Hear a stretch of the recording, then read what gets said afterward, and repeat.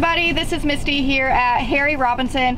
Today is Friday and you know what that means. Today is Free Gas Friday.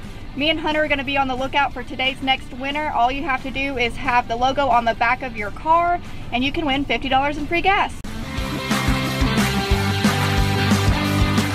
Hi, this is Misty here at Harry Robinson.